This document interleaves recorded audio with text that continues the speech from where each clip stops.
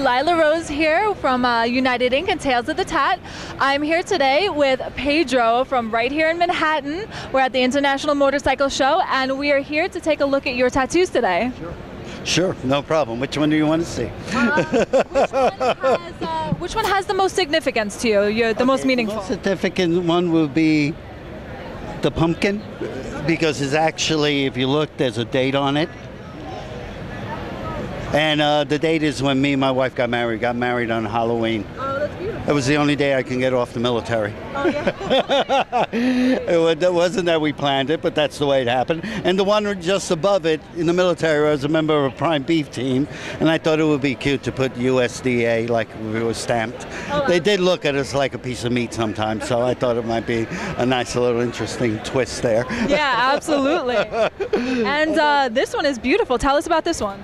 Well, this one is actually the family crest that I uh, decided to do it old school. I wanted it raw. I didn't want it too fancy, and that. And the griffin and the wolf is part of the family crest. It stands for perseverance and endurance and a lot of other things in the family crest.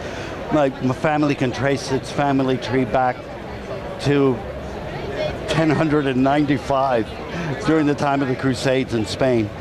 Oh, wow, absolutely. That is great. Thank you so much for sharing it. No problem. Awesome. Thank you. of course. Definitely.